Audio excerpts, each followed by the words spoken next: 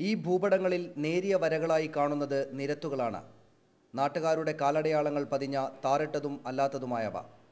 രാജേന്ദ്രൻ മാഷിന്റെ ബൈക്കിന്റെ ടയർ അടയാളങ്ങൾ പതിയാത്ത ഒറ്റ നിരത്ത് വരെയും ഉണ്ടാവില്ല കണ്ണൂർ ജില്ലയിലെ വിവിധ സർക്കാർ ഓഫീസുകളിൽ തൂങ്ങിക്കിടക്കുന്ന ഈ ഭൂപടങ്ങളിൽ.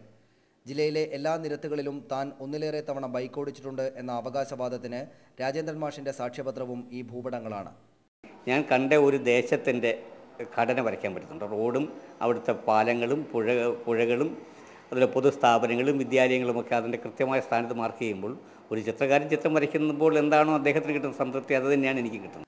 കൊല്ലം ജില്ലയിലെ അഷ്ടമുടി സ്വദേശിയായ രാജേന്ദ്രൻ മാഷ് മുപ്പത്തി അഞ്ചിലേറെ വർഷങ്ങളായി കണ്ണൂരിലെത്തിയിട്ട്. അധ്യാപക വൃത്തിയിൽ നിന്ന് വിരമിച്ച ശേഷമാണ് ഭൂപട നിർമ്മാണം ഗൗരവത്തിലെടുത്തത്. ശാസ്ത്ര സാഹിത്യ പരിഷത്ത് പ്രവർത്തകനായിരുന്ന കാലത്തെ യാത്രകൾ ഭൂപട നിർമ്മാണത്തിന് കരുത്തായെന്നും മാഷ് പറയുന്നു. ഏഷ്യാനെറ്റ് ന്യൂസ് കണ്ണൂർ.